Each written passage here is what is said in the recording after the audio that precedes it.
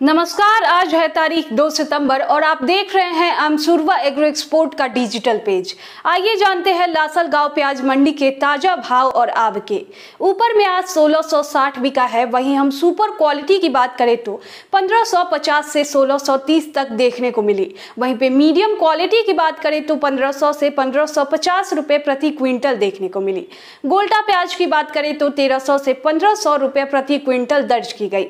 अगर हम गोल्टी प्याज की बात बात करें तो 900 से 1300 तक इसका भाव देखने को मिला।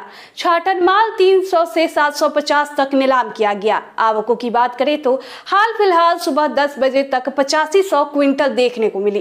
तेज़ी मंदी की बात करें तो आज बाज़ार हमें कल के मुकाबले समान ही देखने को मिली है। एक्सपोर्ट में लगातार अच्छी डिमांड बनी हुई है। बांग्लादेश के गुजडागा बॉर्डर की बात करें तो हर दिन 60 से पैंसठ ट्रक डेली भारत से निर्यात किया जा रहा है। श्रीलंका में भी थोड़ी बहुत तेज़ी देखने को मिल रही है, जिस कारण वहाँ से अगले हफ़्ते अच्छी डिमांड निकल कर आ सकती है। भाव की बात करें तो श्रीलंका में अभी छत्तीस रुपए किलो के हिसाब से थोक बाज़ार में प्याज की बिक्री हो रही है।